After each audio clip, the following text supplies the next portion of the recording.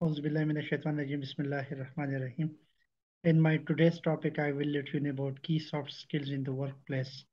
Soft skills कैसे कहते हैं और workplace यानी organization में इनका क्या रोल है तो मुझे उम्मीद है आपको ये लेक्चर पसंद आई होगी मैनेजमेंट साइंस और जो लोग ऑफिशियल वर्कर्स है उसके लिए ये लेक्चर बहुत ज़्यादा मुफीद है और उससे अच्छा खासा जो है ना मुस्तफ़ होंगे so let's start from the very first slide पहले आ जाते हैं what are the soft skills according to Collins dictionary soft skills are interpersonal skills such as the ability to communicate well with other people and to work in a team Collins dictionaries बताती है कि soft skill interpersonal skills होती है। और आप जब communicate करते हैं दूसरे लोगों के साथ और एज ए टीम मेंबर तो इन स्किल्स को जो आपका एटीट्यूड होता है या जो आपका चाल चलन होता है लोगों के साथ, इसको क्या कहते हैं? Soft skill soft skills in the work place are becoming increasingly important as organisation look to add additional value to their business आजकल सॉफ्ट स्किल्स का जो ना मैार बढ़ता जा रहा है और बहुत ज़्यादा अहम होता है किसी भी ऑर्गेनाइजेशन के लिए और ये प्ले करती है एडिड वैल्यू सर्विसेज़ बिज़नेस में खासकर अगर आपकी सॉफ्ट स्किल अच्छी हो तो आपका बिज़नेस ग्रो करता है। Soft skills are an essential are very important element when making hiring decisions आप सॉफ्ट स्किल्स की ज़रूरत कहाँ पे होती है? कहाँ पे इसकी ज़्यादा अहमियत होती है? जब आप हायरिंग करते हैं या कोई ऐसा डिसीज़न लेते हैं जो इंडिविजुअल को आप सेलेक्ट करें What's more, many employers reported that soft skills are more important than technical skills. ये जो हार्ड स्किल्स होती है मशीनों के साथ काम करना उसकी ये अपोजिट है और सॉफ्ट स्किल्स आजकल हर ऑर्गेनाइजेशन की बेसिक नीड्स बन गई some key soft skills in work place कुछ ऐसी सॉफ्ट स्किल्स है जो हम वर्क प्लेस यानी ऑर्गेनाइजेशन में इस्तेमाल करते हैं। इसमें पहला है एटीट्यूड एटीट्यूड एटीट्यूड भी कहलाता है। एटीट्यूड क्या होता है? Positive attitude benefits both employees and employer. A good attitude in the workplace attain organizational goals in a smooth order. आपको एक बात बताऊँ कि एटीट्यूड जो आपका पॉजिटिव यानी मस्बत सोच, आपके वर्क प्लेस और आपके ऑर्गेनाइजेशन गोल दोनों के लिए बहुत बेहतर होता है। चाहे वो ऑर्गेनाइजेशन होती है, चाहे वो एम्प्लॉय होती है। ऑर्गेनाइजेशन तब ग्रो करती जब एटीट्यूड इसमें पॉजिटिव होते हैं। कम्युनिकेशंस अब कम्युनिकेशंस को यहाँ पे दो हिस्सों में डिवाइड किया हुआ। एक है लिसनिंग एंड दूसरा है speaking skill listening requires the fundamental skills of focusing attention on the speakers to be able to hear and understand what the speaker is saying listening क्या होती है? जो स्पीकर कहते हैं उसको अटेंटिवली सुनना और उसको तरीके से उसका जो है ना रिस्पॉन्स देना। जब आप अटेंटिव है तो वो दोनों कम्युनिकेशन स्किल्स सॉफ्ट स्किल्स के लिए बड़ी कारामद होती है। वर्क एथिक वर्क एथिक जो है ना, तीसरी जो है ना वो एट्रीब्यूट है सॉफ्ट स्किल्स की। टेन वर्क एथिक्स ट्रेड्स क्या क्या एट्रीब्यूट्स है, वो है अपियरेंस आपका जो है ना, लिबास, आपका पहनना, आपके मतलब जूते, ये सारे अपियरेंस बल्कि आपकी सफ़ाई सुथरा ये सारे अपियरेंस में आ जाते हैं, बल्कि आपकी personality in other words attendance आप कितने रेगुलर है एटीट्यूड आपका, लोगों के साथ, रवैया कैसा है? करेक्टर आपका, किरदार कैसा है? कम्युनिकेशन आपका जो ना बोल चाल कैसा है? कोऑपरेशन आप कितने लोगों के साथ हेल्प करते हैं? ऑर्गेनाइजेशनल स्किल्स आपने ऑर्गेनाइजेशन में रहते हुए कितने स्किल्स सीखे वो आपके वर्क एथिक में आते हैं। Productivity respect and team work ये सारी चीज़ें थर्ड आ जाती है वर्क एथिक में। अब आ जाती है टीम वर्क टीम वर्क में भी ten work ethics traits team work में अगर आप टीम वर्क में काम कैसे करते हैं अपने लोगों के साथ जो है ना आपका उठना बैठना इसके लिए भी एक आम आ, मतलब लेसन में ये बताई जाती है कि जो वर्क एथिक्स के स्किल है वो टीम वर्क के लिए भी ये स्किल्स होते हैं। और वो क्या है? अपेयरेंस आपकी अपियरेंस क्या है? आपकी अटेंडेंस क्या है? एटीट्यूड क्या है? कैरेक्टर क्या है? कम्युनिकेशन क्या है?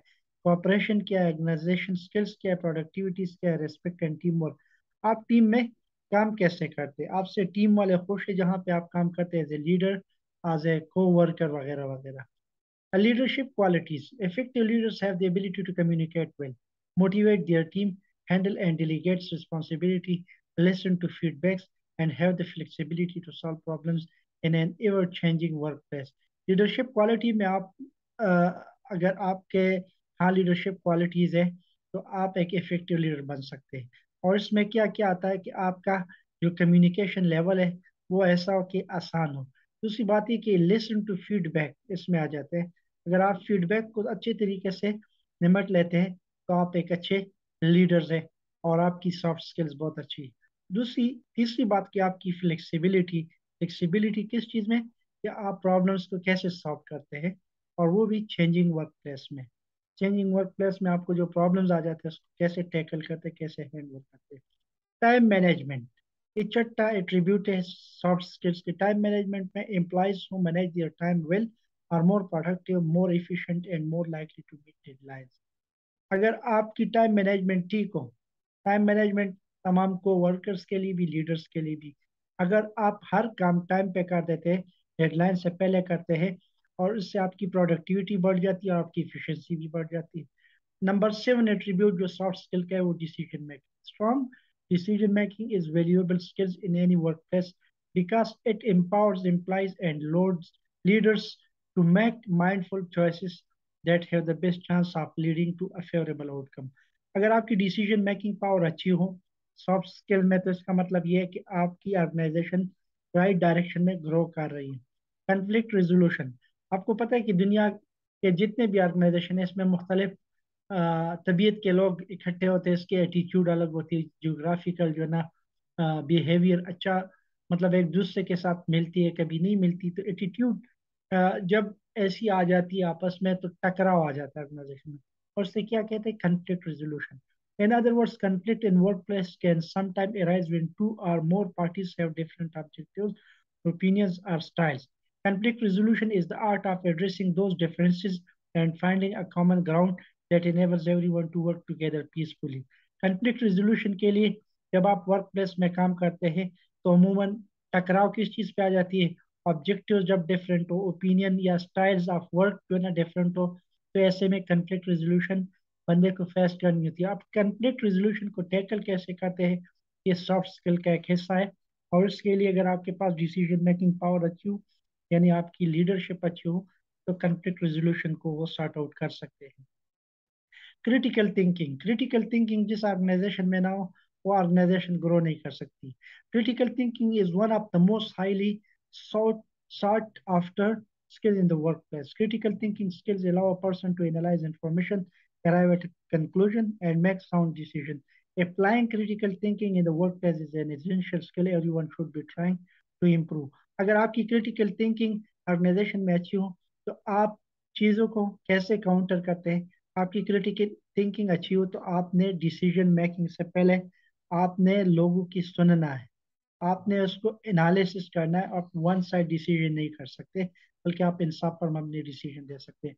Networking in business term networking is the process of speaking professional contact and sharing information with अगर आपकी नेटवर्किंग स्ट्रांग हो तो आप समझे कि आपकी सॉफ्ट स्किल्स वर्क प्लेस में बहुत ज़्यादा स्ट्रांग है। अब बिज़नेस टर्म में नेटवर्किंग क्या है?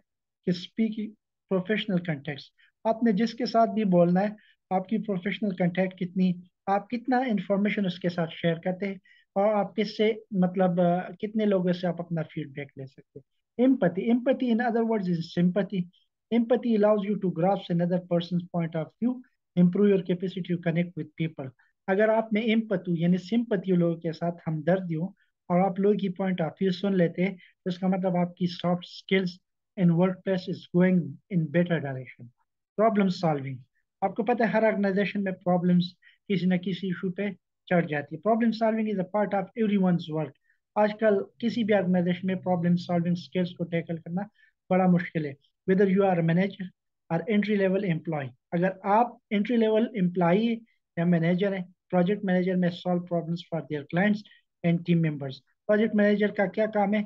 जो आपके क्लाइंट्स है, जो आपके ऑर्गेनाइजेशन से एसोसिएट है, उनको भी टैकल करना, उसके प्रॉब्लम सुनना साथ साथ अपने लोगों को भी चलाना। While individual contributors may solve problems for themselves or their co-workers. Project manager का काम है कस्टमर को साथ साथ लेके चलना, इनकी शिकायत सुनना, लेकिन ऑर्गेनाइजेशन के अंदर इंडिविजुअल की प्रॉब्लम सॉल्विंग क्या है?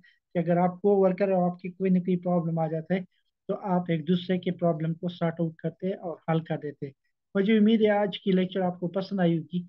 मजीद इंफॉर्मेटिव लेक्चर्स के लिए मेरे चैनल को सब्सक्राइब भी करें और प्यारों के साथ शेयर भी करें।